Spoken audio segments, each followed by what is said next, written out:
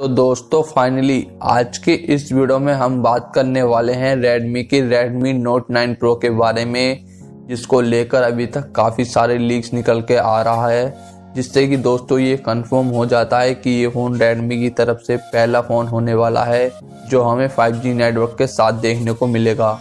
और इस फ़ोन में आपको quad rear camera and display fingerprint sensor भी मिलने वाला है, जो कि बजट कैटेगरी के अंदर लॉन्च होने वाला है। और ये फ़ोन आपको बहुत ही कमाल के स्टिकेशन के साथ देखने को मिलने वाला है। तो दोस्तों, आज के इस वीडियो में हम बात करने वाले हैं Redmi के Redmi Note 9 Pro के बारे में। देखेंगे इस फ़ोन के स्पेसिफिकेशन प्राइसिंग और लॉन्च डेट के बारे में भी। तो अगर आपको भी जानना है Redmi Note 9 Pro के बारे में ज़्यादा तो बने रहें इस वीडियो में। तो दोस्तों, सबसे पहले बात कर लेते हैं इस फ़ोन के डिस्प्ले के बारे में। तो यहाँ पे आपको मिलने वाला है 6.5 इंच का एक full H D plus super AMOLED display जो कि इन डिस्प्ले फिंगरप्रिंट सेंसर और पॉप सेल्फी कैमरे के साथ आएगा। और अब बात कर लेते हैं इसके प्रोसेसर के बारे में। तो यहाँ पे आपको स्नैपड्रैगन 735 का प्रोसेसर मिलेगा, जो कि दोस्तों 5G नेटवर्क को सपोर्ट करता है। यानी कि दोस्तों ये फ़ोन 5G नेटवर्क के साथ आने वाला है। ये चीज़ तो बिल्कुल कंफर्म हो चुकी है।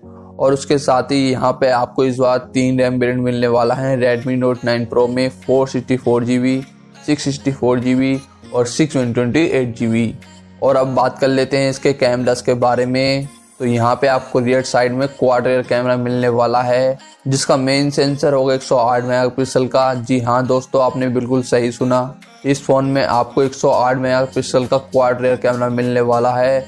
उसके साथ ही 16 मेगापिक्सल के अल्ट्रा वाइट एंगल लेंस और 13 मेगापिक्सल का एक टेलीफोटो लेंस और 8 मेगापिक्सल का एक डेप्थ सेंसर मिलने वाला है।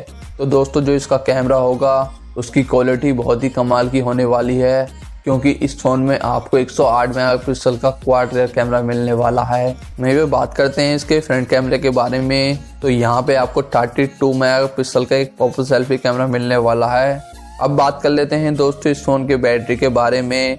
तो यहाँ पे आपको पाँच हज़ार एम का बैटरी मिलने वाला है। जी हाँ दोस्तों, इस फ़ोन में आपको पाँच हज़ार एम का बैटरी मिलने वाला है, जो कि दोस्तों सत्ताईस वोट की फास्ट चार्जिंग के साथ आएगा।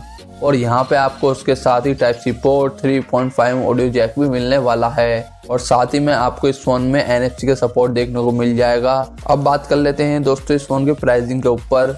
तो दोस्तों, जैसा कि आप सब जानते हैं कि रेडमी के नोट सीरीज़ के स्मार्टफ़ोन जो होते हैं, वो हमें 14 से पंद्रह हज़ार के बीच में ही देखने को मिलते हैं। तो दोस्तों, ये फ़ोन भी आपको 14 से पंद्रह हज़ार के बीच में देखने को मिलने वाला है इंडिया के अंदर। वही बात करते हैं दोस्तों, इसके लॉन्च डेट के ऊपर।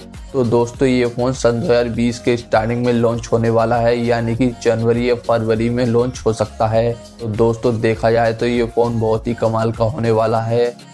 तो दोस्तों, यही था Redmi Note 9 Pro के बारे में कुछ कन्फर्मेशन और दोस्तों, मैं मिलता हूँ आपको अगली वीडियो में। तब तक के लिए गुड बाय